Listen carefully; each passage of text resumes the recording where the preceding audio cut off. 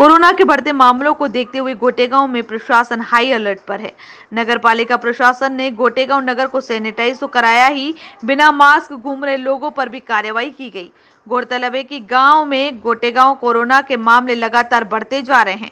अधिकारियों की माने तो आगे कार्यवाही जारी रहेगी। कोरोना के बढ़ते मामलों को देखकर गोटे गाँव में प्रशासन ने अब सख्त कदम उठाना शुरू कर दिए हैं। बिना मास्क के घूम रहे लोगों पर प्रशासन ने कार्रवाई तो की है, साथ ही नगर पालिका प्रशासन ने पूरे नगर को सैनिटाइज भी कराया। गोटे गाँव में कोरोना के मामले लगातार बढ़ते ही जा रहे हैं, यही नहीं, कोरोना से नगर में मौतें भी हो चुकी है। लिहाजा अब इस बीमारी को लेकर प्रशासन पूरी तरह से गंभीर है।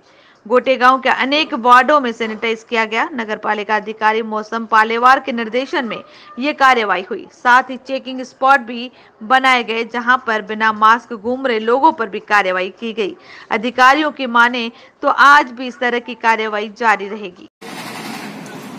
चालन किस चीज़ के कट रहा है व्यक्ति व्यापारियों की सुरक्षा अनुसार लॉकडाउन लगाया गया है। जी।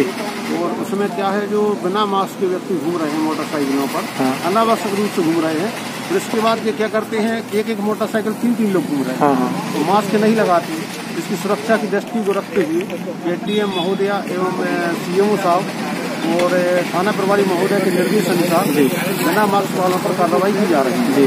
तो इस कार्रवाई में सौ रुपया दो सौ रुपया के हिसाब से रसीदें काटी जा रही हैं जिसमें लोगों में जागरूकता आए मास्क लगा घरों से निकलें गोटे गाँव में केस बहुत बढ़ रहे हैं दिन पे दिन इसलिए व्यक्तिगत रखते हुए ये व्यवस्था की जा रही है। आर्ट इंडिया न्यूज़ के लिए गोटेगांव से पवन मिश्रा के साथ बी डी सोनी की रिपोर्ट।